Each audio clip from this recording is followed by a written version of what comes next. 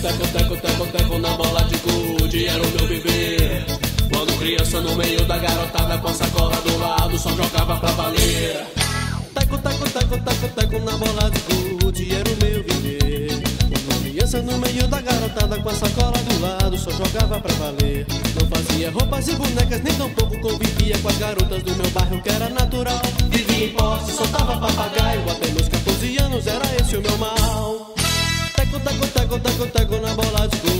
era o meu viver.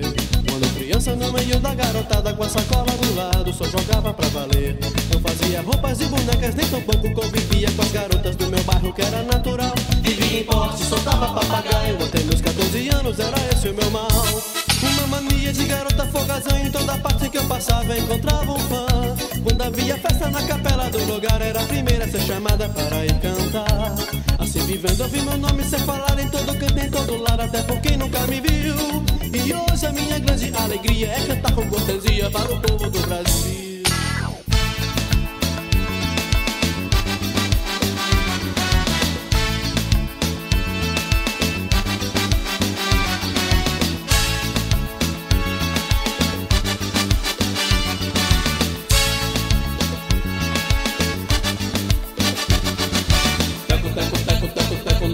Gude, era o meu viver.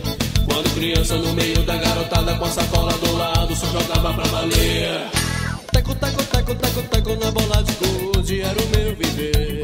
Quando criança no meio da garotada com a sacola do lado, só jogava pra valer.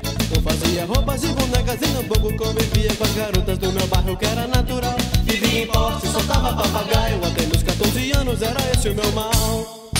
Teco, teco, teco, teco, teco na bola era o meu viver.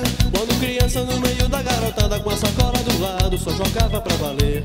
Não fazia roupas e bonecas, nem tampouco convivia com as garotas do meu bairro, que era natural. Vivia em posse, soltava papagaio, até meus 14 anos era esse o meu mal. Uma mania de garota folgazã em toda parte em que eu passava encontrava um fã. Quando havia festa na capela do lugar, era a primeira a ser chamada para ir cantar. Assim vivendo, eu vi meu nome ser falar em todo canto, em todo lado, até por quem nunca me viu. E hoje a minha grande alegria é cantar com cortesia para o povo do Brasil.